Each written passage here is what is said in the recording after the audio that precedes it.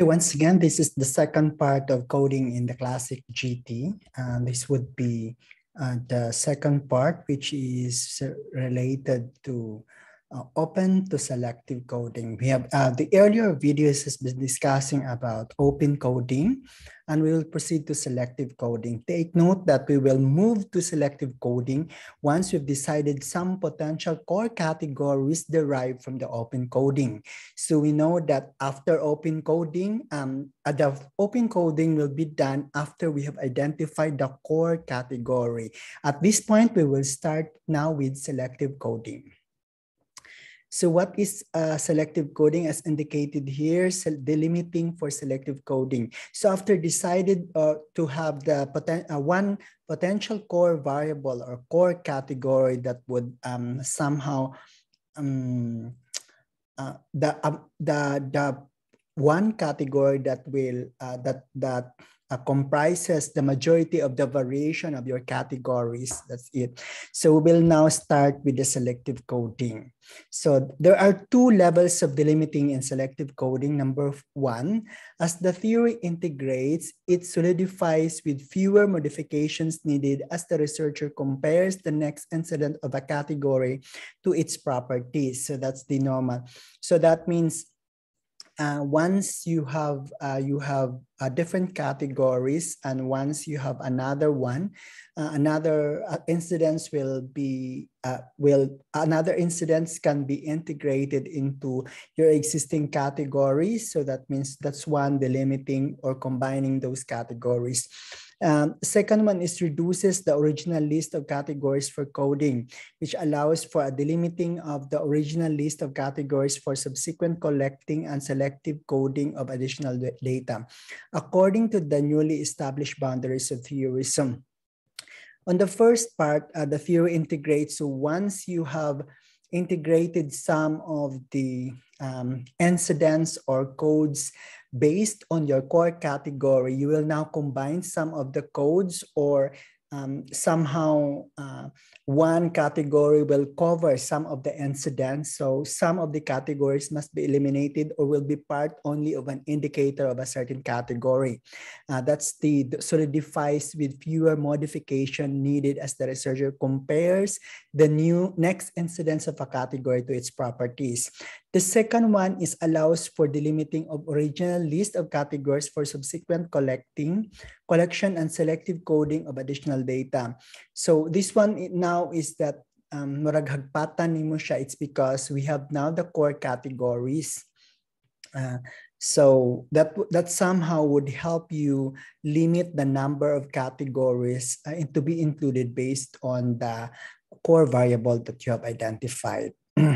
so the second question, so the target for selective coding is that um, uh, we can now reach, uh, we can now um, uh, determine whether our indicators of a particular concept that we've derived from data is, is, is considered complete or um, you have saturated or there are no other incident might be that will come in the future or your anticipation is that it can describe already the theory it will always support the concept that you have identified. Now so when can we say that we have we must be uh, that we have um, satisfied or completed the data collection. We call this one as theoretical saturation, which determines when to stop collecting data. So somehow you have some indicator that you that the data collection is already enough. So here the constant comparison of interchangeable indicators in the data yields the properties and dimension of each category or concept. This process of constant comparison continues until new, new no new properties or dimension are emerging. Uh, memo writing is a continual process that helps to raise the data on a conceptual level and develop the properties of each category. So that means if uh, you have raised a particular level of your concept and you think that uh, you've already developed the appropriate properties and dimension of your categories, you might be reaching that um, theoretical saturation. Um, one indicator is that once you've interviewed up to three participants, uh, for example, and yet no new concepts uh, will emerge from the new interviews, or even if your theoretical sampling has already been uh, saturated or that means um, uh, you you cannot find any other interesting trends on the incoming for the new data collection as guided by your theoretical sampling you might have um, reached the theoretical saturation. So the difficulty as a researcher here is to prove that you have reached the theoretical saturation uh, in some point because sometimes um, after three interviews, no particular uh, well, no new concepts have emerged from your data, but somehow you have you you need also to evaluate each of the category whether this satisfies the complete definition of that concepts that you have want to integrate in your theory. Another important concept that you need to consider when you uh, are studying grounded theory is memoing. Uh, this is the writing of theoretical memos in the core stage in the process of generating grounded theory. If the researcher skips this stage by going directly to sorting or writing after coding, she is not doing grounded theory. That's according to Glaser.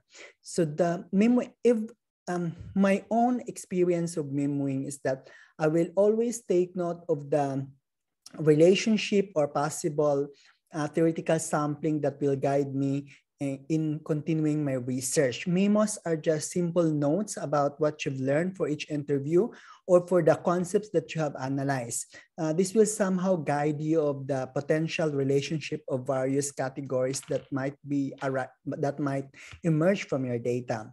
Memos are theoretical notes about the data and the conceptual connectedness between categories. At this uh, every time you have a conjecture, if you have assumption or just an hypothesis, or in our term hypothesis, you just write it in the memos. This will remind you later in your memo sorting what are the relationship of categories that can be, uh, the, the potential relationship of various categories. And if that memos actually define the relationship between two categories or if you can find it frequently in most of your memos then you can define the relationship of various categories but somehow memoing can include other um, concepts or other um, things do you think uh, you believe is important in the formulation of your theory so these are sometimes considered as notes in relation to the generation of the theory. And most of the time, we will think of our theory based on memos, based on how the how you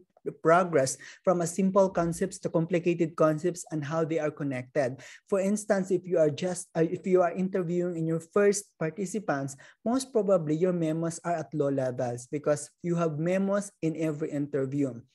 So for example, your memos in your first participant might appear as just notes of important concepts that a potential concept that you may derive from the first interview. And these memos will remind you of the emerging concepts that you can find, but maybe relationship will not be very important in your first interview. But after you have the fifth interview, you might um, establish some relationship of various categories of concept that will be used later for, for in support of your various um, of categories of your of your um, uh, de, uh, of your concepts or or important um, important connection between different categories. So an example of a memo is thus this one, um, there is a code A2403 Memo 3, the passion of vocation. Networks are keeping personal and professional passions from being eroded, depleted in the hectic humdrum of daily organizational operations. Our job is our work. Our practice is our passion, distinguishing between practice and work, between vocation and job. So this is an important memo of differentiating various concepts and the presence also of that concept. Another is uh, almost similar memo, memo 6, really start to learn when they find a passion for a subject and then make a real connection to other learners, real-time practitioners. So individual passion for learning is stimulated and reinforced in community. So that means um, the last, um, there is a quote here, this me that means this is somehow a basis of the author's field notes about what happens. And the last one would be distinguishing concept between, and the last statement is actually the actual memos that initially define the relationship between individual passion and how the community reinforced that, pa that passion. While on the first example memo, we can see that um, the author want to differentiate the various concepts between practice and work and how it was applied in the actual setting. Another example is between the concept of job and vocation based on the statement also of the participants. So memoing is one of the important practice in doing grounded theory it's because at this point, the formulation of concepts and the relationship between concepts or categories and will, will be explained on how it develops from a very simple concept to con a concepts with relations. Um, the last important coding that you need to do after the substantive coding is the theoretical coding. So in the in theoretical coding, we, the conceptual elaboration concludes when the, when the relationship among in, uh, among concepts emerged through the identification and use of appropriate theoretical codes to achieve an integrated theoretical framework for the overall grounded theory. When we are doing the substantive theory, we are initially defining the relationship between concepts or categories. At the theoretical level, we are now integrating those various um, categories that emerge from data. That means our target here is to present also the theory or the entire relationship of various categories that we've derived from data. This would be the final uh, coding part. Um, if you've seen in the definition, there is what we call a theoretical codes. The theoretical codes are sometimes used as a guide for us to determine the various relationship of major categories.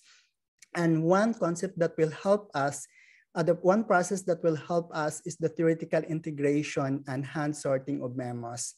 Initially, we have discussed memos as um, uh, that will record our conceptualization of categories as well as uh, on the second part are the relationship of various categories. But here we will now sort um, this is this will be the time where you will see the the progression of your memos from simple concept that emerge from data to various relationship. So when you do the theoretical coding, you will review some of the memos. Uh, th this will somehow remind you of the previous relationship that you have established in various categories. But sometimes you might not need to sort memos because you can still remember some of the relationship but that you have defined.